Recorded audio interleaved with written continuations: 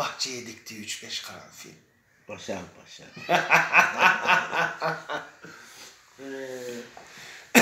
Kiminde muhabbet belden aşağı, kiminde muhabbet belden yukarı. Bizde, bizde muhabbet gönülden abi. Bizimki Bi- muhabbetimiz bizde de öyle. gönülden. Evet abi. Bu e, şiir şey, hmm, Üstad Necip Fazıl'ı Sinop cezaevinde yatarken idamlık bir Ali'nin adına yazıyor. Biliyor musun? Bir idamlık Ali vardı asıldı. Kaydı düşürdü. 3-5 günlük fasıldı.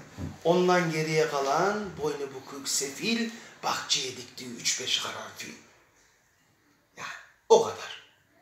Ne diyor? Ölürken de gitsen bahçeye ne diktiysen o kalır. Bitti abi. Şiirin özü bu diyorsun. Sözü bu tabi. Ali'nin hakkındaki şiir bu.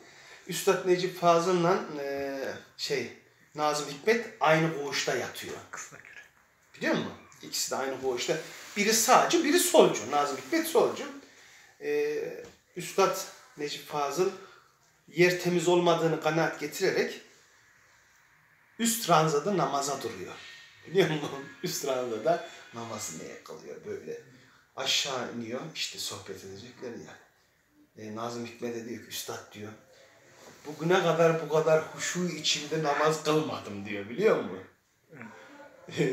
Şeyi de Nazım Hikmet de esrarı nereden bulduysa çıkara sarmış.